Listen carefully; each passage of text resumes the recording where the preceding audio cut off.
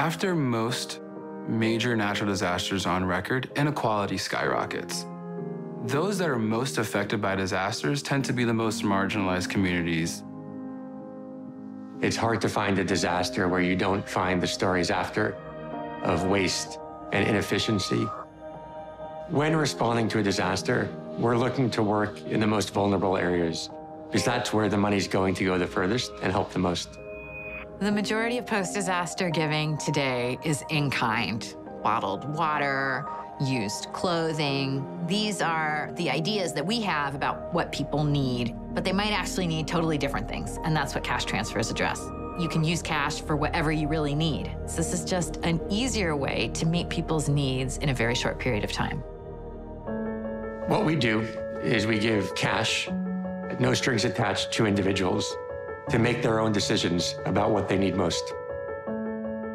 They may use it to rebuild their home. They may use it to buy a car because their car flooded, and this allows them to get back to work more quickly. And the list goes on.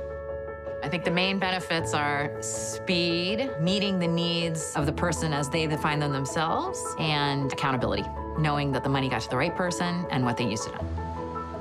There is a robust amount of information that shows in the natural disaster space that direct cash is actually one of the better interventions. So we're excited to work closely with Give Directly to really test that hypothesis.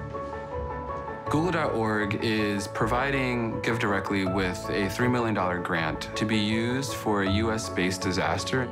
And we are pairing that grant with four Google.org fellows.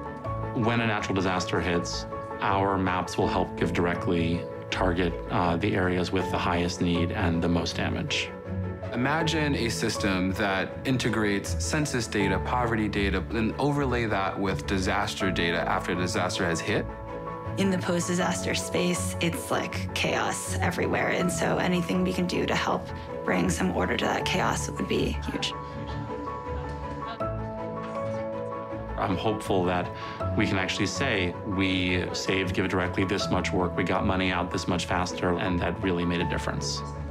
I think that's a classic Google fit. This has been studied, it's shown to work. Let's get in there and use like the power of being Google to amplify. Throughout the relationship, Google.org have challenged us to think bigger and think about not only how we can transform individuals' lives, but how we can transform the entire sector.